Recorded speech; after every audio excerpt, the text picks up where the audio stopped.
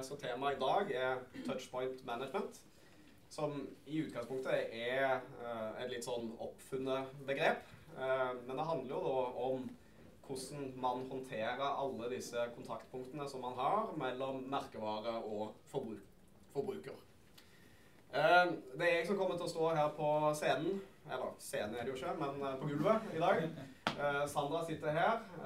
Det er meg og Sandra som har ansvaret for en del av det som de gjør akkurat i dette området i regionen, altså Norden og Baltikum. Så vi er begge to. Hvis dere har spørsmål av typen lett, så kan dere stille det til meg. Har dere spørsmål av typen vanskelig, så sender jeg det videre til Sandra, sånn at hun kan svare på det. Bare så dere er klar over det. Ja. Utover det de som har vært her før, uh, vil kjenne igjen noen av de innledende slidene som jeg har.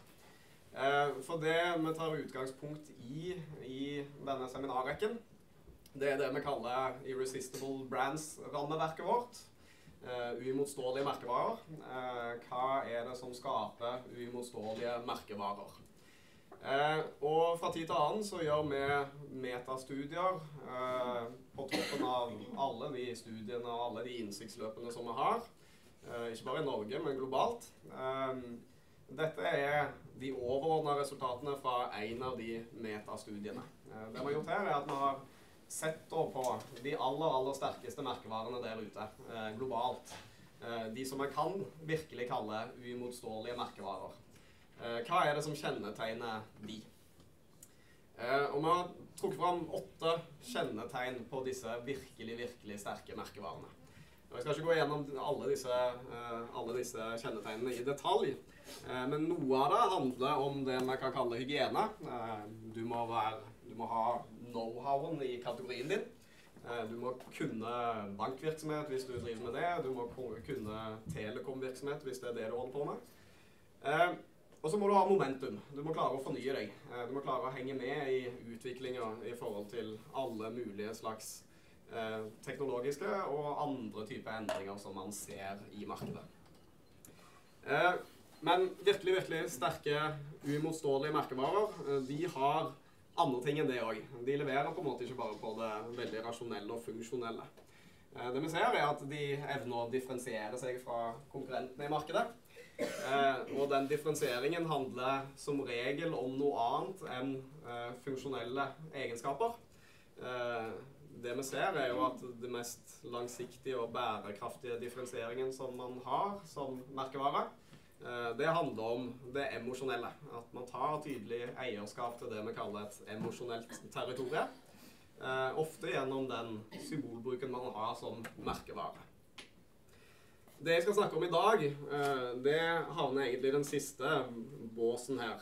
Eh, det handler jo om konsistens. Eh, for det vi ser, er jo at sterke merkevarer, uimotståelige merkevarer, de evner også å være konsistente, både over tid De har det samme merkevareidentiteten i år som de hadde for ti år siden. Men også på tvers av ulike kontaktpunkter. Så her kommer kontaktpunktperspektivet inn. Eh, for det vi ser, er jo da at virkelig virkelig sterke merkevarer de har en tydelig stemme på tvers av alle mulige kontaktpunkter. Eh, kontaktpunkter som ofte kan variere veldig i forhold til eh, både innhold og, og hvordan man håndterer det rent sånn organisatorisk. Før jeg begynner å snakke om kontaktpunkter, så tar jeg med en slide som de som har vært på disse frokostseminarene før, antagelig har sett.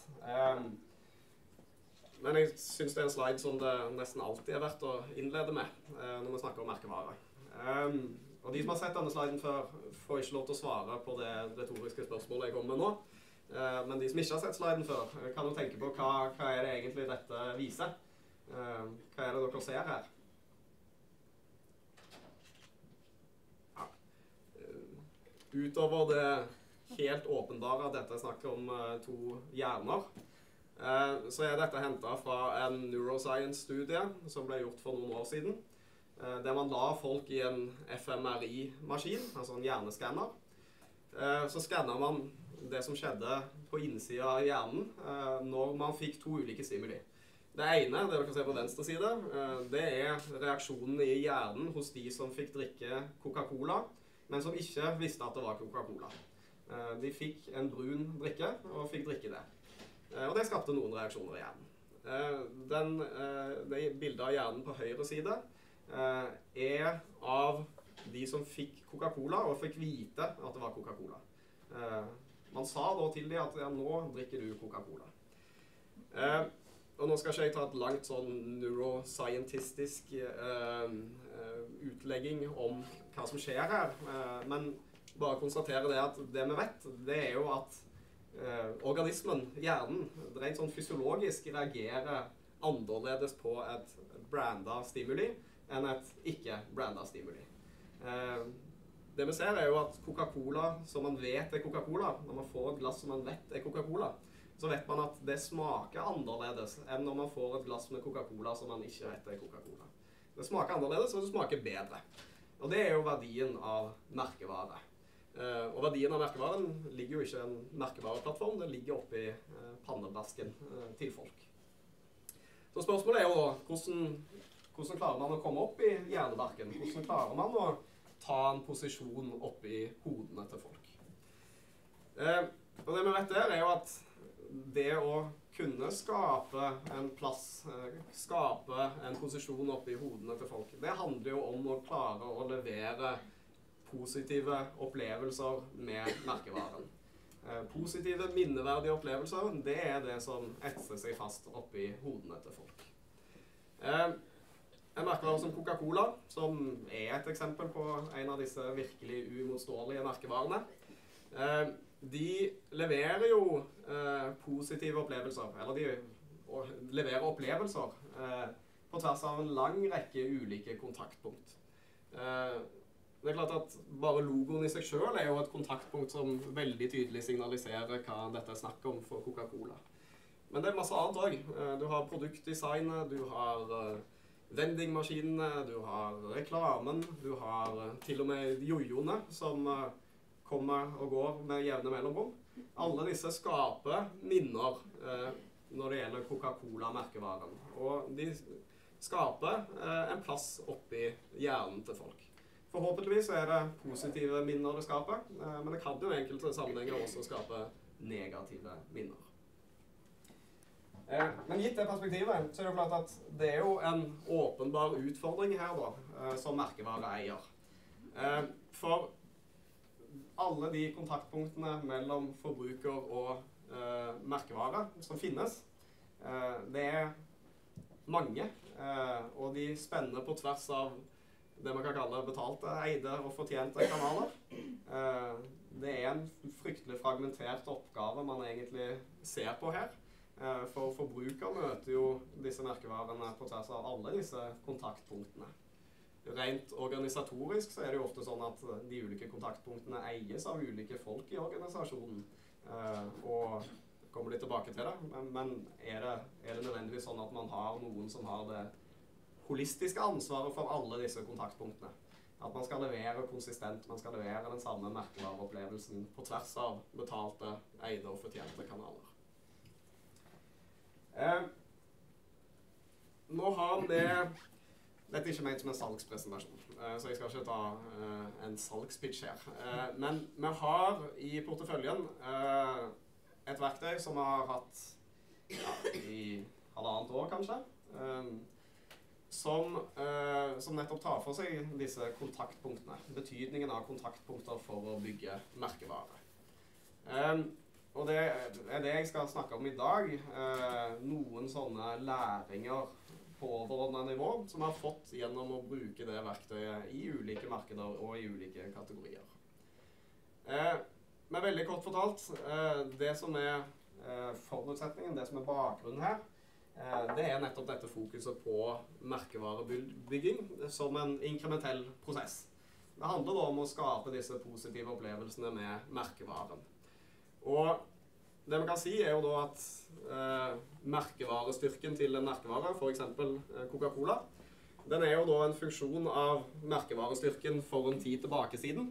Ikke nødvendigvis i går, men, men ofte så kartlegger man et tidsspenn på tre måneder eller et halvt år. Eh, og så er det en funksjon av alt som har skjedd imellom her. Um, og der har jo forbrukerne møtt denne merkevaren i ulike kontaktpunkter. Uh, noen av de kan ha levert positive opplevelser, noen av de kan ha levert negative opplevelser.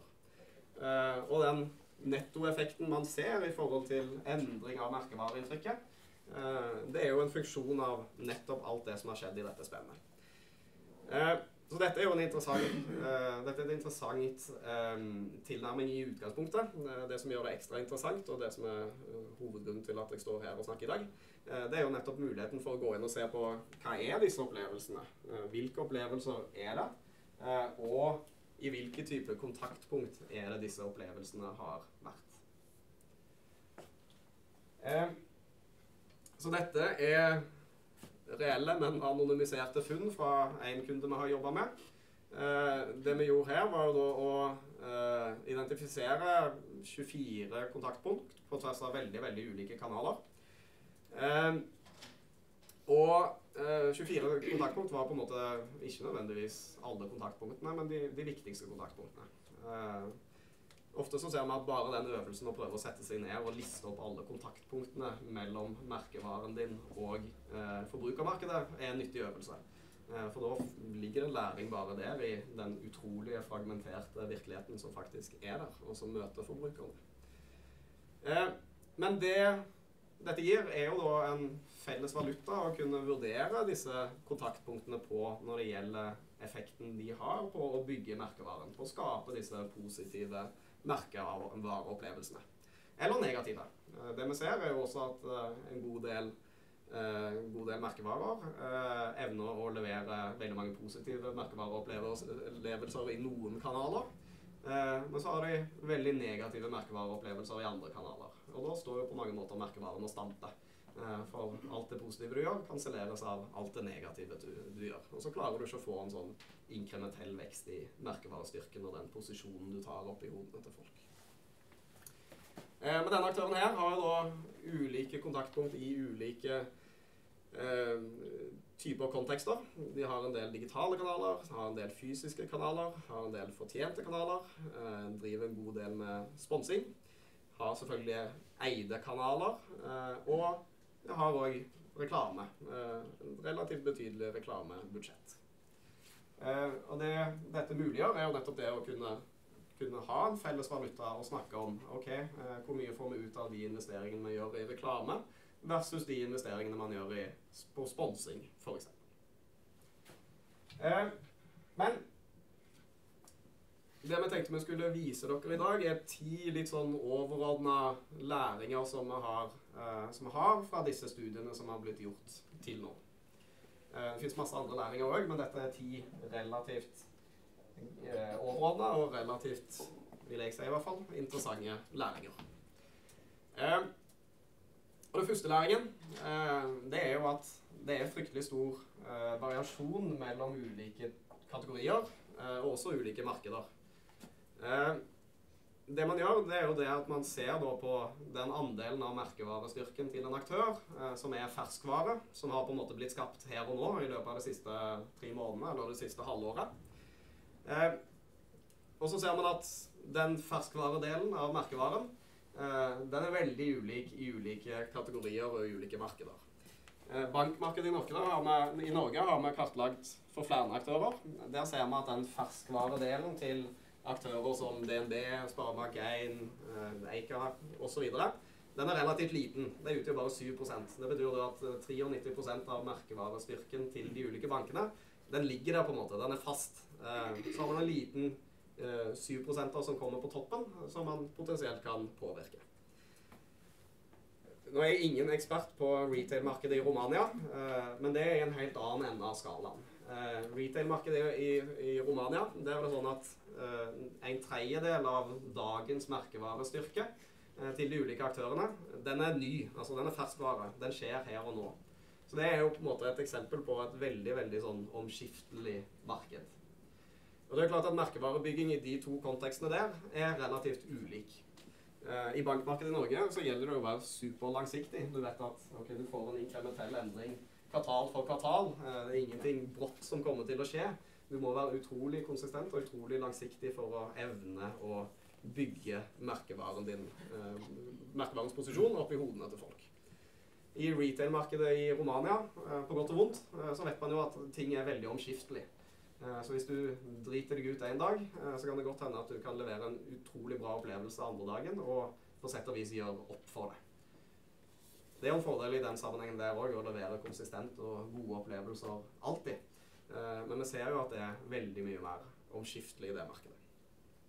Og det er jo på sett og vis ikke så veldig rart. Eh, Går du inn i en dagligvarebutikk også i Norge, eh, så kan ditt, ditt inntrykk av Meny f.eks. endre seg ganske fort hvis du ikke finner de tingene du vil ha, hvis det er møkkete, hvis betjeningen er sur og grinete.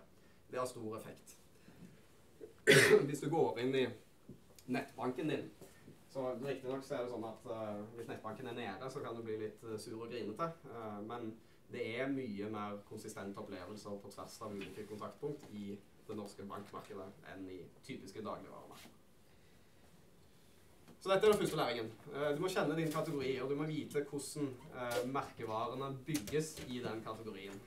For enkelte markeder så er det omskiftelig, ting skjer fort. Mens i andre markeder så er det utrolig stabilt over tid. Og du må tenke langsiktig og grundig. Eh, Den andre nøkkellæringen som jeg har fått, det er det jeg har vært inne på, at merkevareeksponering er utrolig fragmentert. Og det blir mer og mer fragmentert. Eh, en av de kundene vi jobba med, gjorde en øvelse der man spesifiserte de kontaktpunktene man hadde i dag. Eh, og så prøvde man å tenke seg tilbake ti år i tid, og så spesifisere de kontaktpunktene man hadde på det tidspunktet. Det man så var at Riktignok var det noen av de kontaktpunktene man hadde for ti år siden som har forsvunnet ut. Eh, som på sett og vis har dødd ut. Men det som er hovedinntrykket, det er jo at det har kommet fryktelig mange kontaktpunkter til på denne lista. Eh, det kommer stadig nye kanaler som man kan velge å gå inn og eksponere merkevaren i. Eh, så dette markedet, eller dette bildet her, blir jo mer og mer fragmentert egentlig i forhold til de ulike kontaktpunktene, fordi at det kommer så mange kontaktpunkter til. Uh, og så er spørsmålet da om man som merkevare er nødt til å være til stede i alle disse kontaktpunktene. Uh, eller er sånn at man heller bør legge ressursene sine i å være skikkelig, ordentlig og konsistent til stede i noen av disse kontaktpunktene. Den tredje læringen som vi har, og dette bør egentlig ikke overraske så mye, men, men allikevel så ser vi at eh, det er en liten øyeåpner for flere kunder, egentlig. Eh, det er at merkevaren eh, som regel, i de fleste kategorier, den bygges først og fremst gjennom produkterfaring. Man kan tenke seg at merkevarebygging handler liksom om glossy reklamekampanjer og store, breie eksponeringer av merkevaren i betalte medier. Eh, akkurat for denne kunden så ser vi jo at reklame hadde et relativt lite bidrag på eh, merkevarestyrken og de positive opplevelsene som man får. Det som i all hovedsak bygde merkevaren, det var jo produkterfaring. eh, på tvers av de kanalene som denne aktøren hadde. Eh, så det er et av de funnene som vi ofte har jobba ganske mye med. Eh, nettopp å si, si det at eh, det er å jobbe med eh, produktet. For det første så må merkevareperspektivet få plass i produktutviklingen. Ofte er det jo sånn at de som jobber med produktene som sådan, og brukeropplevelsen, de har, tenker ikke nødvendigvis så mye merkevare. Eh, De skal lage en god brukeropplevelse, de, eh, uten nødvendigvis at det skal være en god brukeropplevelse som bygger merkevaren som man ønsker. Eh, Men en viktig funn er uansett at det er produkterfaring først og fremst som skaper disse positive opplevelsene. Det er ikke, det er ikke glossy reklamekampanjer. Det har en funksjon, det òg, men, men det er ikke nødvendigvis det som er det mest effektfulle eh, kontaktpunktet.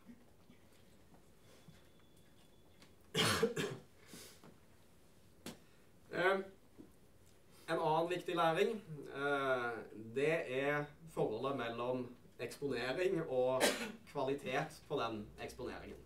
Det vi gjør, er at vi kategoriserer de ulike kontaktpunktene i forhold til rekkevidde. Eh, I hvor stor grad har folk kan, minnes, kan folk minnes og har vært i kontakt med de ulike kontaktpunktene. Og i hvor stor grad har de faktisk drevet en endring i merkevareinntrykket. Eh, og dette er, ikke, dette er ikke generelt funn. Det er ikke sånn at uh, de kanalene her alltid faller i disse, disse kvadrantene. men det vi så for denne aktøren, var at de gjorde det. det vi så, var at TV, f.eks., er jo en kanal som, som når bredt. Du eksponerer veldig, veldig mange. men så er det ikke nødvendigvis sånn at alle de du eksponerer, endrer inntrykk av merkevaren. Eh, det har en funksjon i forhold til å, eh, å treffe bredt. Eh, men det er relativt få som, som, endrer radikalt inntrykket som de har av merkevaren din. Events er en annen kategori. Events er jo klart at de har jo lav rekkevidde. Sånne events som det her. Du får inn de folka som du får inn i salen, og de blir eksponert for, for budskapet ditt. Men det er bare de det vi ser allikevel, det er jo at sånne events det har veldig høy kvalitet. Det gjør at folk endrer inntrykket til merkevarer. Um, og så må ikke dere nødvendigvis ta så tenke veldig nøye gjennom om dette endrer inntrykket til Kantar Tennis. Men, men, det vi ser for denne aktøren, er jo at den hadde veldig stor effekt i forhold til nettopp det å bygge en sterk relasjon til merkevaren. Um, og da blir spørsmålet er det sånn at man kan øke rekkevidden av disse eventene. Er det sånn at man egentlig bør investere enda mer i å holde flere event, sånn at man på sikt gradvis klarer å eksponere flere, eh, gitt at de har så stor effekt for de som faktisk er til stede. Og så ser vi i nesten alle sammenhenger så ser vi jo at den fortjente delen, altså word of mouth, er jo kanskje den kanalen som uh, har både størst rekkevidde og har størst potensiell impact i forhold til å endre merkevareinntrykket. Det som er skummelt, er selvfølgelig at her har du veldig liten grad av kontroll. Uh, det er mange som har strategier for, for å prøve å påvirke word of mouth, men uh, i bunn og grunn så er jo dette en, et kontaktpunkt som du som merkevareeier i veldig liten grad har kontroll på.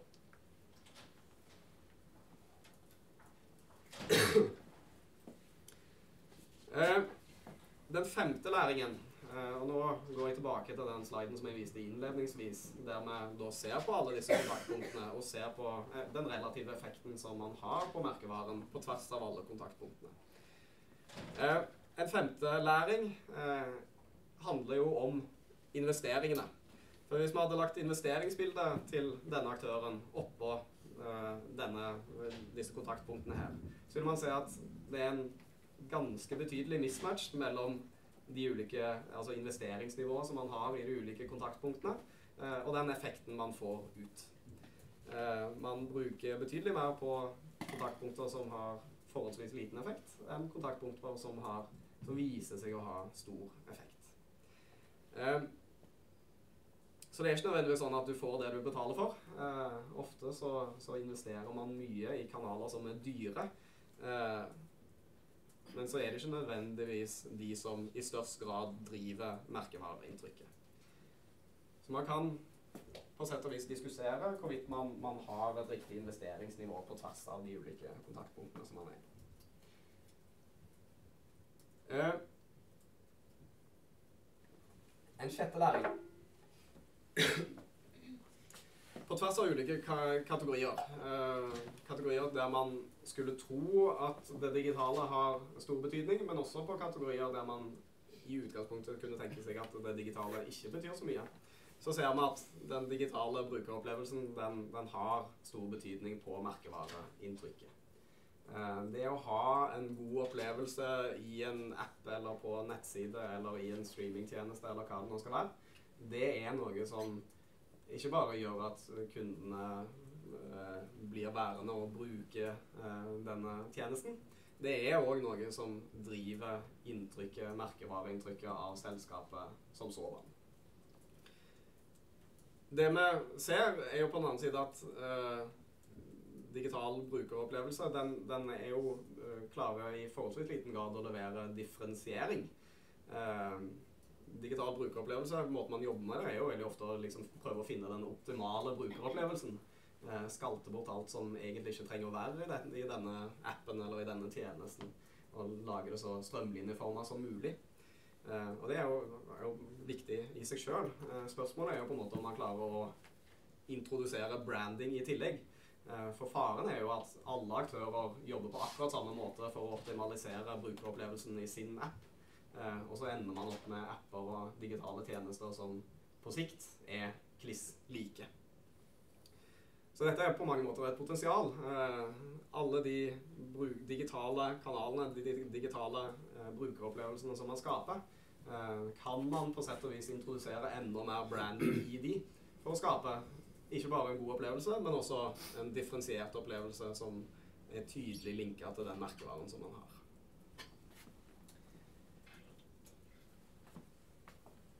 En syvende læring eh, handler om at ofte så er det sånn at alle mulige små aktiviteter, eh, små tiltak, summen av de kan ofte sparke større, sterkere enn ett stort tiltak. Så dette er et funn som jeg har sett særlig i forhold til sponsing.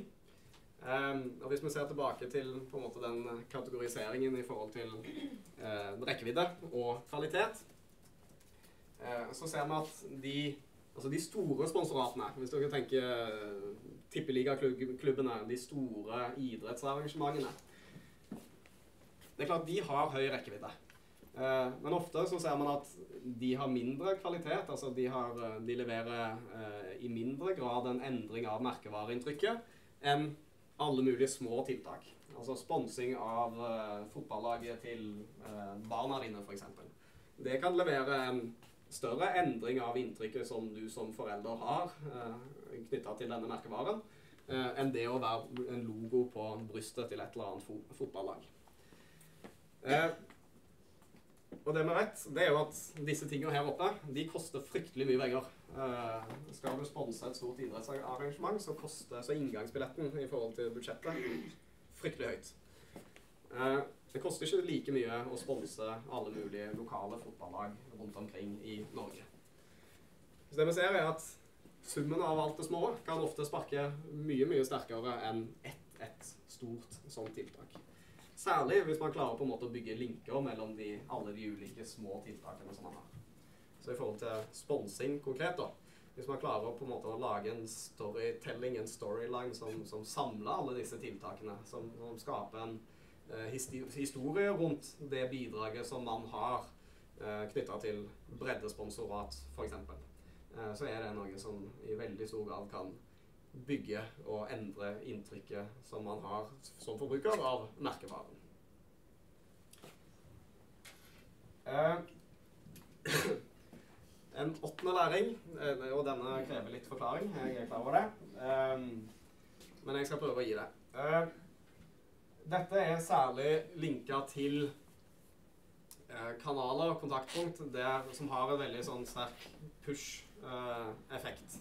Særlig knytta til salgseffekter. Eh, og ofte knytta til CRM-aktiviteter. Altså at du targeter noen med salgsbudskap, og så dunker du på.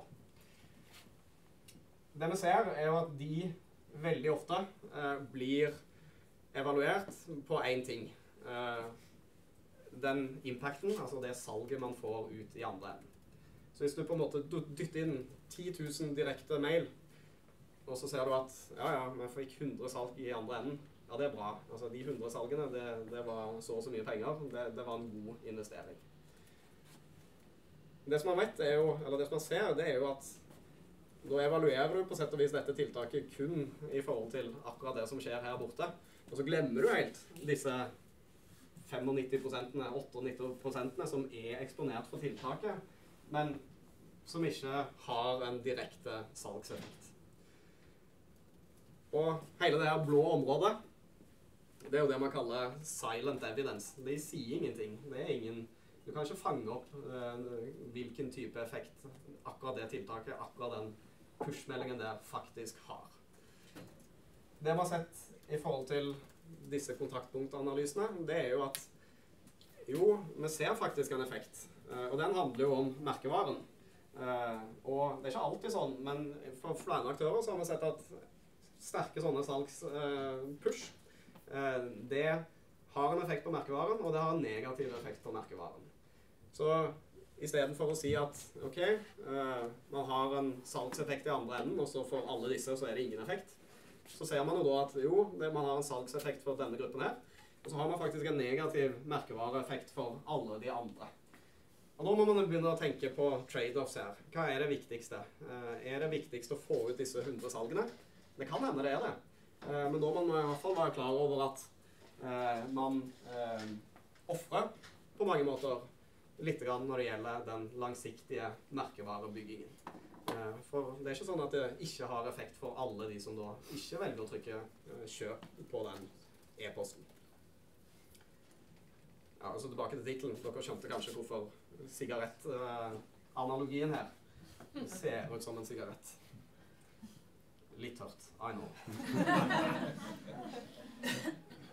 eh, en niende læring og dette burde egentlig vært selvsagt. Men don't mess up. Uh, man har sett det i mange sammenhenger at merkevarer kan ha gjort det sinnssykt bra i løpet av et halvår. I alle kontaktpunkt. Kan ha levert fantastiske opplevelser. på tvers av alle de ulike kontaktpunktene man har. Utenom ett. Og det handler om word of mouth, eller det handler om det fortjente biten. medieomtale. Så og vi har jo masse medieskandaler på sikt. Panama Papers eh, TV 2-sporten er jo i litt hardt vær. Hennes Maurits har vært i hardt vær. Westerdals har vært i hardt vær. Og det vi ser for den type aktører som får en prominent rolle i sånne saker, det er jo at alt det positive de har gjort, det kan kanselleres av én sånn sak. Eh, det, det kansellerer all den gode man, jobben man har gjort i alle andre kontaktpunkt. Eh, så tar du på en måte veldig mye positivt, og så tar du én stor negativ greie, og så sitter du igjen egentlig med null effekt, eller kanskje også negativ effekt for merkevaren. Så ikke gå på sånne blemmer. Uh, og jeg vet at det er lettere sagt enn gjort, men, men betydningen av sånne på merkevarer, det er betydelig. Jeg spørre om en til. Ja. Hvor lenge sitter det der i? Er det noen tall som er, er generelle rundt det? Det er ikke tall som er generelle rundt det, men, men vi har vi vet fra noen studier i det norske markedet at eh, det å ha en prominent rolle i eh, en sånn eh, stor mediesak, det er noe som henger ved ganske lenge. vi har i hvert fall plukka opp at det henger ved ett år fram i tid. Det jeg tror var spesielt med det caset, er at det var ikke et enkeltstående case. Um, jeg tror jo kanskje det er lettere å bounce tilbake hvis, hvis, hvis det er én mediesak uh, som går i negativ retning. Men, men, hvis det er flere mediesaker, hvis det på en måte er sånn at uh, aktøren stadig er i mediebildet i forhold til et eller annet negativt, så tror jeg du klarer å holde på, man, på mange måter liv i alle sakene. Um, så vi har sett at det, det henger ganske lenge ved. Uten at det nødvendigvis er en generell funn, men, mm. men uh, for ganske mange aktører som ser meg. Eh, den siste læringen, og kanskje den viktigste, og kanskje også den mest sånn trøblete å jobbe med, eh, er nettopp det at dette bildet er utrolig fragmentert. Man har drøssevis med kontaktpunkt mellom merkevaren og forbrukerne. Eh, og det er ikke nødvendigvis sånn at de som håndterer de ulike kontaktpunktene, tenker så mye på merkevareinntrykket som sådan. De tenker kanskje på helt andre ting. Så på sett og vis er det sånn at i en organisasjon så er alle ansvarlige for dette bildet her. Det å bygge positive opplevelser på tvers av alle mulige kontaktpunkter som man har. På den annen side så er det jo egentlig ingen som har det overordnede ansvaret for alt dette. Hvem er det som har det holistiske ansvaret for at alle disse kontaktpunktene skal kunne levere positive opplevelser alltid? Um, den funksjonen fins som regel ikke i ulike organisasjoner. Uh, det fins ingen sånn CTM-tittel, altså uh, Chief Touchpoint Manager. Uh, det fins ikke.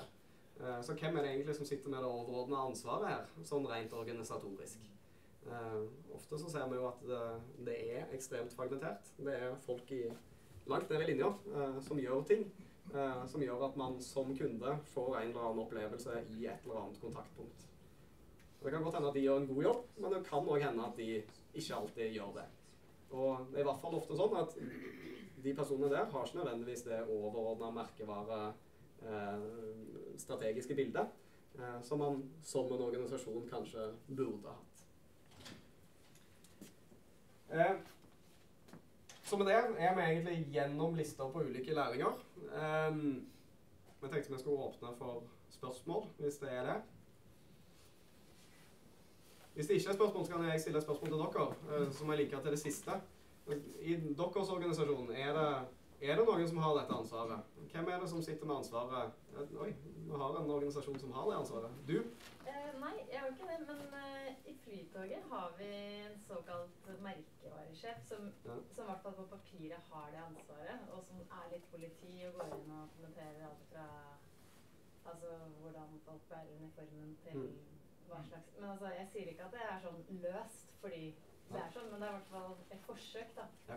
på å samle det ansvaret. Men altså, ja, det reflekterer jo hvor vanskelig det er, for hun kan jo ikke være overalt på en gang. Men det er på en måte en eh, Man har liksom tatt inn over seg viktigheten av det, i hvert fall. Og for Flytoget så er det kanskje sånn at man har eh, Altså nå snakker jeg uten nødvendigvis å ha tenkt meg om på forhånd, men, men eh, det er kanskje et, tross alt et relativt begrensa mengde med kontaktpunkter som man er til stede i. Sikkert sånn Det føles ikke nødvendigvis sånn på innsiden, men ja, det er sikkert det i forhold til mange andre større Ja. Det er liksom ikke uendelig mange touchpoints, kanskje. Nei. Nei. Så det er litt lettere å være merkevarepoliti. Men det er vel det vi ser. altså I den grad man har en merkevaresjef eller merkevaredirektør, så er det jo ofte den som tar den rollen. Eh, ofte så er jo de organisert i en marketingavdeling. Det er jo Ja. det som gjør det litt merkelig. Ja, det er det ikke her, da. Nei. Så det er sånn, mm. Er det noen andre refleksjoner rundt det? distinguerer dere mellom touchpoint eh, si, brand management og, og kundeopplevelse? For dette, I mitt hode så er det veldig nært kundeopplevelse. og Det viser jo den siste AMFO-rapporten at det er flere og flere annonsører egentlig er mye mer bevisst hele bildet som du, du tegner opp. da. Mm. Eh, så jeg opplever at det er, det høye på agendaen. Eh, Ja. Ehm, ja, altså det, til det direkte spørsmålet, ja, vi distinkterer jo mellom med kundeopplevelser. Men det vi, det vi ser på, er jo eh, i hvor stor grad de kundeopplevelsene faktisk driver merkevareinntrykket. Eh, så vår eh, ja, analytikerspråk avhengig variabel her er jo hele tiden merkevareinntrykket, og i hvor stor grad man klarer å endre det. Ehm, og, og det har vi sett. Det ser vi på tvers.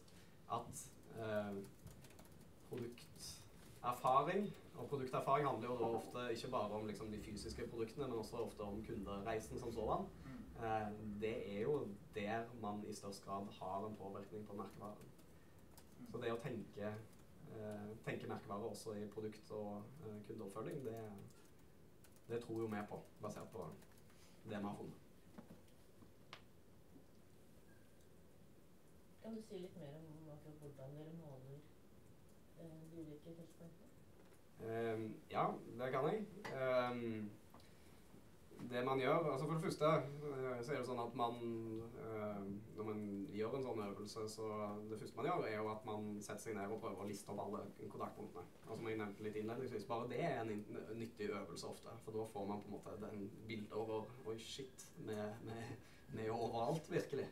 Uh, og hvem er, det, hvem er det som egentlig har ansvaret her? Men det vi gjør da, eh, det er jo at man, man går inn, og så eh, eh, tester man hvorvidt de ulike touchpointene, og i hvor stor grad man har hatt opplevelser i de, i løpet av et typisk sånn tidsspenn. Tre måneder, seks måneder, ikke noe særlig mer enn det. Da. Um, og så handler det ikke bare om å si hvilke, hvilke kontaktpunkter har du som kunde vært i kontakt med, men også hvor, hvor, hvor høyt oppe i bevisstheten er de. Eh, for det vi ser er jo at eh, effekten av sånne ting som sitter der, som du liksom Ja, det husker jeg. Der hadde jeg en, en, enten en veldig bra opplevelse, eller der hadde jeg en veldig dårlig opplevelse. Effekten av de, de der er veldig mye større enn de du må på en måte grave ned i hukommelsen. At ja, jo, jeg var jo og møtte den personen uh, på det tidspunktet.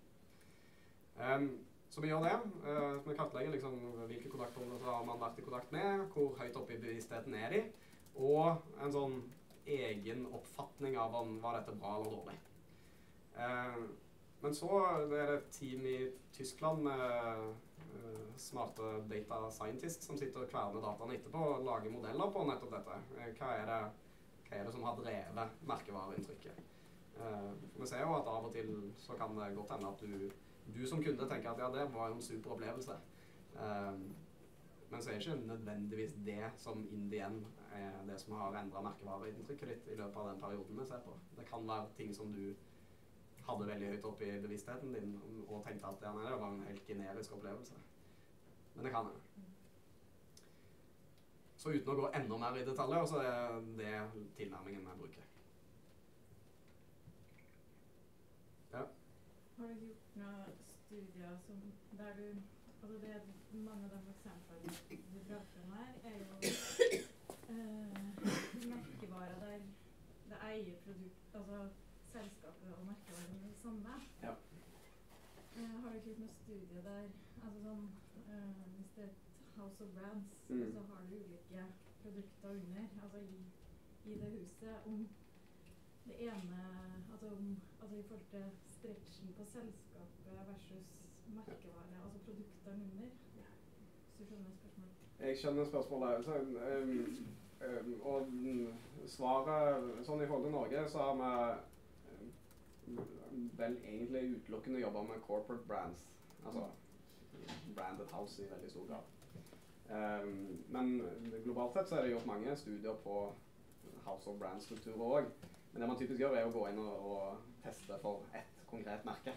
Um, det med um, altså Hvis vi snakker litt utover selve kontaktpunktanalysen uh, det, med, det vi, ser skille disse uimotståelige merkevarene fra hverandre um, når man har en portefølje, uh, det er jo det at man Enten så må det være et sånn House of Brands som, som tillater at merkevarene får en helt forskjellig identitet. Da er det fine. Men hvis du skal prøve å ha en effekt og en synergi fra mormerket til alle de underliggende merkene, eh, så er du nødt til å få en tydelig kobling. Eh, det, det må være på en måte tydelig linka sammen. Du må ha en story eh, som forteller hva eh, strukturen eh, til de ulike merkevarene er.